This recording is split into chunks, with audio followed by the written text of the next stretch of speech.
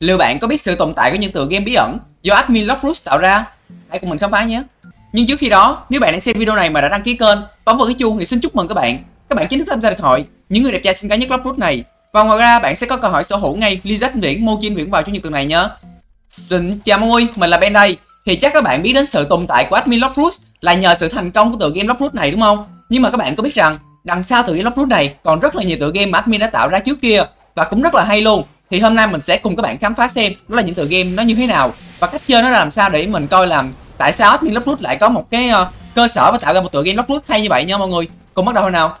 Thì như mọi người đã biết Lockroot có hai admin chính đó chính là Magi43 và Ripira thì trước kia hai ông đã tạo ra một tựa game đó chính là Elemental Battle Round anh em. Thì mình sẽ th chơi thử tựa game này cho mọi người nhé. Thì phải nói đúng hơn tựa game này coi như là tựa game anh cả của Lockroot anh em. Thì giờ chúng ta sẽ chơi thử xem nó như thế nào. Thì đầu tiên mình vào mình sẽ gọi là chọn map nha. Ôi nếu mà nhìn với cái đồ họa như vậy thì mình sẽ đoán là có thể tựa game này sẽ liên quan tới cái đó là nguyên tố anh em. Đấy như là các bạn sẽ trở thành những vị phù thủy á. Đấy thì cũng rất là tương tự với tựa game um, Lockroot nhưng là phiên bản anime One Piece nhá đấy hiện này chắc là anime gì đó nhưng mà liên quan tới phù thủy mọi người. Đó thì cũng có máu nè cái này là gì đây? Hmm, menu. Ơ à, tính ra game này đồ họa nó kiểu đúng là đúng chất cơ bản của những cái năm mà trước 2019 game Lockroot tạo ra mọi người. Đó để coi à cái này cũng upgrade nè nhưng các bạn phải cần làm nhiệm vụ gì đó để mình khám phá xíu.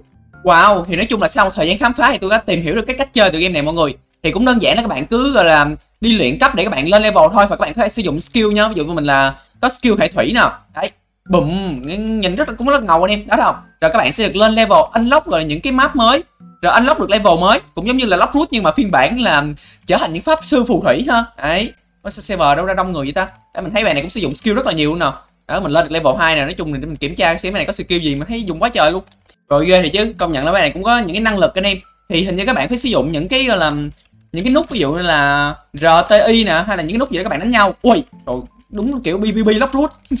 Đây mình bắn cái này coi bài này có đi không nha mọi người. Rồi bài này ghê quá bài này có nhiều năng lực uh, những năng lực nguyên tố của mình có đúng một năng lực của bắp à? Mình cũng lên level 4 rồi nè. Ok thôi chúng ta sẽ đeo đến với một tựa game uh, khác của Lockroot tiếp nha. Rồi sức mạnh như là trái Rumble vậy mọi người. Wow, khi khi mà mình vào cái group của admin Magi43 mọi người thì mình lại phát hiện ra một cái đó chính là đây chính là server testing của tựa game Lockroot nha. Và khi các bạn vào server này thì nếu mà bạn đã không biết thì nếu bạn vào được server này thì các bạn sẽ có 100% những cái điều gì xuất hiện trong Lockroot kể cả những năng lực, năng lực của admin luôn em rất là biết luôn thì em sẽ thử vào thử nha. Đây là coi như là cái server testing của tựa game Lockroot đó.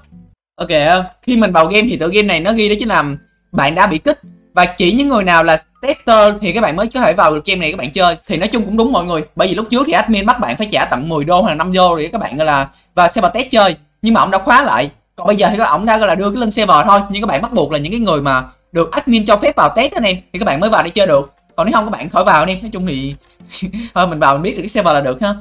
Ngoài tựa game đó ra thì ông còn tạo thêm một tựa game đó chính là kiểu thế loại speed uh, speed đó mọi người. Có nghĩa là các bạn chạy nhanh để các bạn uh, tăng điểm sức mạnh các bạn sẽ ngày càng chạy nhanh hơn. Đấy, rồi các bạn rebirth thì cũng đây là một cái loại rất là cổ điển cho những bạn nào mà đã chơi từ năm 2017 đúng kiểu chơi mấy trò này xong tôi lại, gọi là, có những ký ức ù về, mọi người kỹ tuổi thơ ù về đấy. Những bạn nào thường chơi Lockroot ờ, đời đầu các bạn sẽ biết những tựa game này ha. Nói chung thì cũng là những cái ký ức của mọi người. Đó, thì đây chính là những tựa game mà admin Lockroot đã tạo ra, mà mình chỉ chọn những tựa game hay, nhất hay nhất thôi nha.